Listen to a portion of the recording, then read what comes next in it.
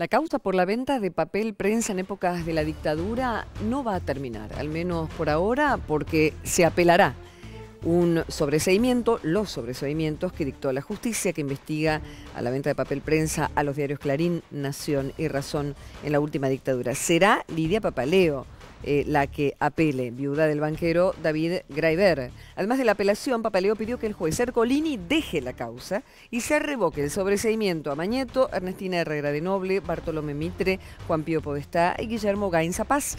La querella aseguró que hay falta de fundamento en la decisión que pretende sacarle la culpa a los acusados en delitos de lesa humanidad.